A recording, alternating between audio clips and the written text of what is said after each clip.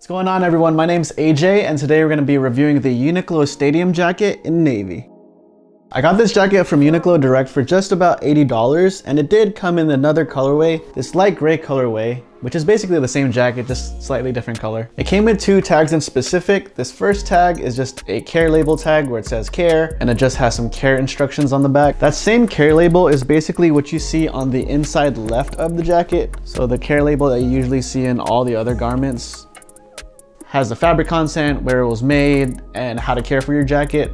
I personally wouldn't machine wash or machine dry this. I'll probably dry clean it. And it did come with this other tag as well, which is the typical Uniqlo tag, where it just has the logo, says stadium jacket, has a bunch of the fabric content. I'm not gonna go through all of it, but it is a mixture of polyester, spandex, and also rayon. Has some barcode information, the size, and also the price, which is just about $80 or $79.90 if you want to be specific, no. But so Uniqlo considers this jacket to have a lot of premium fabrics, whether it be the navy chest or the imitation leather sleeves. And the imitation leather is also an accent on the pockets. And this jacket has a total of three pockets. It has this leather lined pocket on the left and the right side, and also another pocket on the inside left so three pockets in total. There is some rib knit, which is on the collar of the jacket, the sleeves of the jacket, and also the hem of the jacket. And along with that navy chest, the back is also navy. And there are seven total buttons. And on the inside, where this has a Uniqlo logo in all black, this piece where you could hang it on a coat rack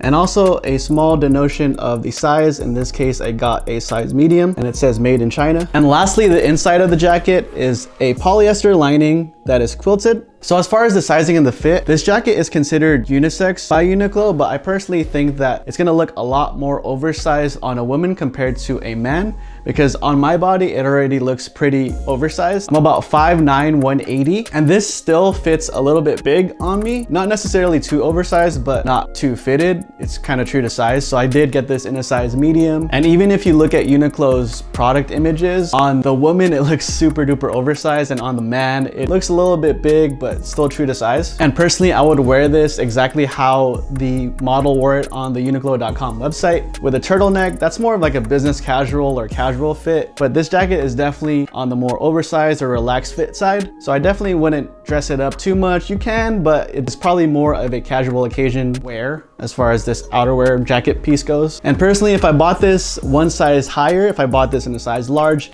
it would look way too oversized for my liking. And if I bought it in a size small, I guess it would work, but Personally, I think I picked the right size. I would probably wear it a lot more dressed up because it would look more form-fitting, but it would still probably fit regularly. This one, the size medium is perfect for my dimensions. And the reason why I say this size medium is perfect for me is because I could wear a t-shirt under it, but I could also wear a hoodie under it. So this is me trying to put on the jacket. I look like one of those inflatable wavy things that you see at the used car dealership, but in all seriousness, I try to put this on. Make sure you could try it on and actually put the sleeves on like you didn't have trouble like I did for some reason. I was wearing this hoodie and it fit me pretty well still. I had a lot of space for movement. This jacket wasn't too tight even with a hoodie on and I was wearing the t-shirt really, really comfortably under it. It isn't too warm, but I think it's perfect for the fall season or even some winters, but you'd probably have to be in like California, not really like some crazy climate. And here it is with a t-shirt. And like I said earlier, here it is with the hoodie. I personally like both looks. I think this jacket looks super sleek, especially with the leather details and that tonal details that you see from the navy. And that goes into my first pro. This jacket is super stylish. At just under $80, you probably wouldn't think that this jacket costs that much. You would think it costs a lot more. And I think that the tonal nature of it, meaning the colors, how it's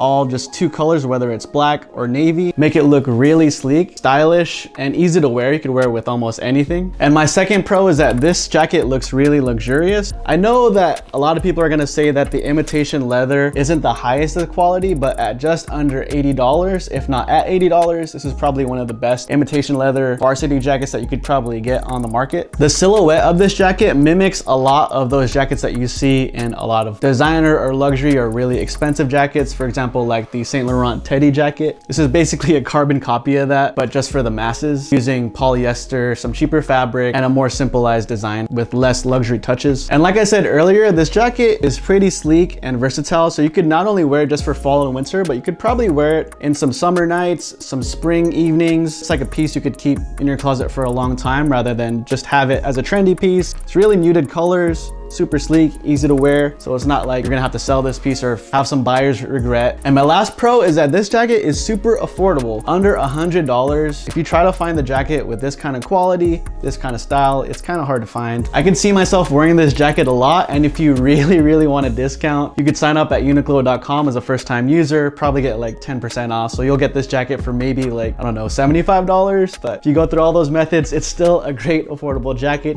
whether you get the discount or whether you just get it at regular price. And my only con with this jacket is that it is just so-so quality. It's not necessarily subpar, not necessarily luxurious. It's just satisfactory, I would say. The imitation leather looks really nice in photos and even video, I would say, but in person, maybe because I've been exposed or I, have seen some designer leather. Can't really complain because it's under a $100. So this con is a little bit difficult for me to justify. But if I were to have a con, I could see this leather kind of getting damaged easily with a lot of wear. And you can't really have too many expectations as far as the leather goes or everything else because this is under a $100. It is from Uniqlo. So it's more so about the style, the silhouette, and the fit of the jacket as a whole. And I wouldn't worry too much about just the fabric and everything else because if you're trying to compare this to like a thousand dollar jacket you're just not gonna get the same quality. The pictures and the videos do make it look really luxurious and in person if you're looking at someone wearing this jacket from quite far away probably gonna look really nice. If you look at it closer and closer in person if it's like age or if it gets rainwater on it it may look a little damaged but you know now it's a vintage jacket but that was my only con. To some their expectations might not be met based on the leather or the fabrics of this jacket but personally I think it's still a dope jacket all in all, I'm gonna say that the Uniqlo Stadium jacket is probably one of the best Letterman jackets you could get for under $100 for the fall winter season. What do you guys think about this jacket?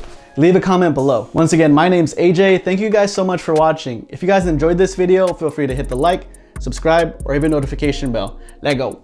Yer. Peace.